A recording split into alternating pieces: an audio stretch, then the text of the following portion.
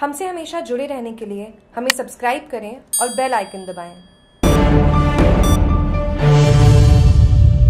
भीनमाल नर्मदा नीर संघर्ष समिति द्वारा नर्मदा परियोजना ईआर प्रोजेक्ट का कार्य शीघ्र पूर्ण करवाकर पानी उपलब्ध करवाने की मांग को लेकर भीनमाल उपखंड अधिकारी कार्यालय के समक्ष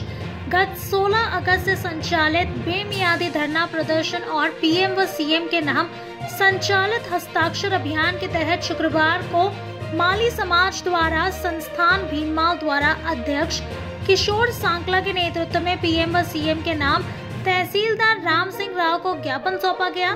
ज्ञापन में बताया कि भीनमाल नगर सहित विधानसभा क्षेत्र के समस्त गाँव व ठानियों में नर्मदा का पानी उपलब्ध करवाने के लिए वर्ष 2008 में राज्य सरकार द्वारा करीब 371 करोड़ की लागत से नर्मदा परियोजना ईआर प्रोजेक्ट तैयार की गई थी। वर्ष 2013 में तत्कालीन राज्य सरकार द्वारा योजना को मंजूर कर कार्य चालू करने के लिए बजट आवंटन किया गया था, जिसमें उक्त कार्य वर्ष 2016 में पूर्ण करने का लक्ष्य था। लेकिन कार्य प्रारंभ होने के बाद निर्वोचित राज्य सरकार, प्रशासन व क्षेत्र जनप्रतिनिधियों की अनदेखी के चलते उक्त कार्य को लेकर आवश्यकता अनुसार बजट आवंटन नहीं करने की वजह से उक्त कार्य कछुआ चाल चल रहा है। यदि बजट आवंटन व कार्य की प्रगति इसी प्रकार रही तो उक्त कार्य वर्ष 2025 तक पूर्ण होना मुश्किल नज़र आ रहा है। वर्तमान में भीनमाल शहर में करीब सात दिन व गाँवों में पेयजल आपूर्ति का इंतज़ाम नहीं के बराबर होने की वजह से पेयजल का भारी संकट बना हुआ है,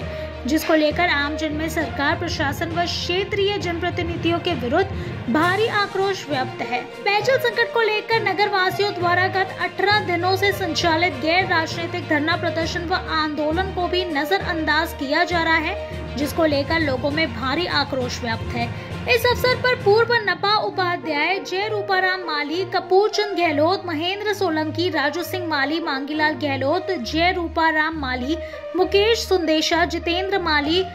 घेवर चंद राजपुरोहित, शेखर व्यास, मोहन सिंह सिसोदिया, भरत सिंह भोजानी जबरा राम भाटी, दिनेश भट्ट,